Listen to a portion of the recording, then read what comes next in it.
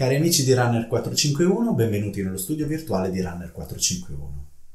Oggi quello che voglio eh, condividere con voi è una riflessione a voce alta, aprire anche una discussione, quindi vi chiedo di commentare sotto il video se lo state vedendo su YouTube, Instagram o Facebook e vi risponderò sicuramente. Allora, quando è il momento giusto per correre una maratona? Sia che sia la prima volta che voglio correre, anzi soprattutto, ma anche quando le voglio programmare.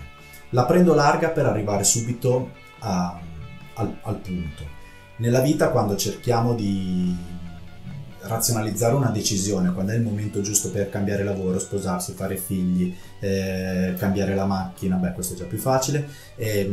se mi metto a razionalizzare non è mai il momento giusto. Anche per la maratona bisognerebbe fare eh, dei ragionamenti, ma se vi mettete a ragionare troppo probabilmente, soprattutto per chi non l'ha mai corsa, non la correrete mai.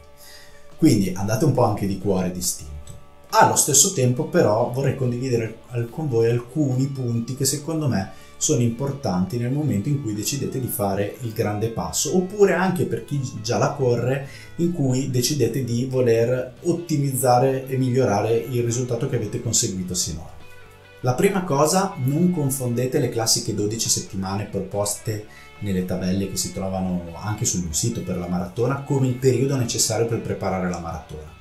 per chi l'ha già corsa quelle 12 settimane, all'inizio delle 12 io dovrei essere già quasi in grado di correre i 42 km, probabilmente, anzi sicuramente non al ritmo gara eh, che voglio seguire e che posso ottenere, ma dovete pensare che quelle 12 settimane, 3 mesi, sono un periodo specifico in cui andare ad ottimizzare le qualità, in cui andare a trovare il picco di forma, in cui andare a sviluppare il mio ritmo gara per i 42 km e 195 metri evitando di avere crisi durante il percorso. Per chi invece è alla prima maratona ci può stare che all'inizio delle 12 settimane l'autonomia non sia ancora così alta, ma sicuramente non può essere di 10 km. Diciamo che se siamo vicini ai 26-30 km è la cosa eh, ideale. Sicuramente andare anche per, per, chi è alla prima maratona nell'andare a migliorare alcune qualità che me la facciano correre un po' più veloce, perché ricordatevi che più ore state sulle gambe, più diventa faticoso, quindi l'obiettivo la corro il più lento possibile per arrivare in fondo non è sempre valido, anzi quasi mai. L'altro aspetto però è che il mio obiettivo come ehm, diciamo novizio della maratona è arrivare al traguardo, braccia al cielo con il sorriso e stare bene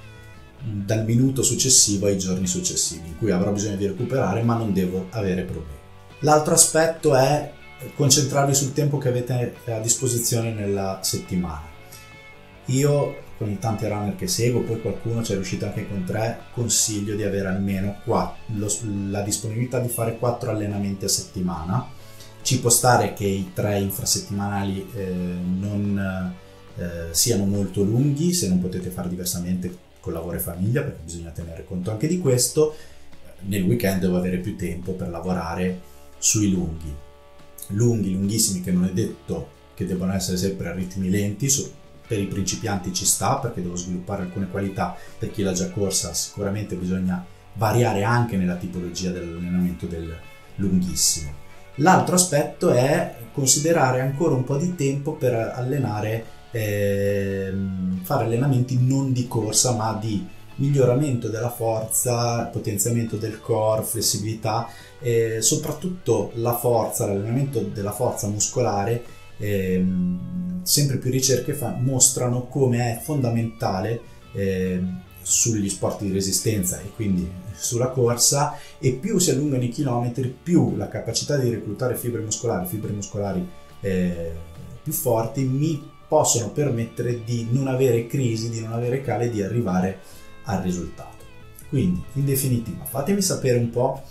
se avete già corso la maratona, come avete deciso, scrivetelo nei commenti e qual è stato un, po' il vostro percorso, se è andata bene, se poteva andare meglio. Se non la dovete ancora correre, confrontatevi con gli altri runner che ancora non hanno corso la maratona, ricordandovi che non è obbligatorio correrla. L'importante è fare quello che vi diverte, che vi piace, che vi stimoli, gli obiettivi sono importanti, non sentitevi eh, runner di Serie B se non avete mai corso la maratona e se pensate di non correrla. Non è obbligatorio, l'importante è che vi divertiate. Se vi è piaciuto questo video seguite Runner451 su YouTube, Instagram, la pagina Facebook e sul sito dove trovate tantissimi articoli, tra cui tanti altri articoli eh, con tabelle e consigli per correre la maratona, nonché il mio servizio di allenamenti personalizzato con cui seguo tantissimi runner.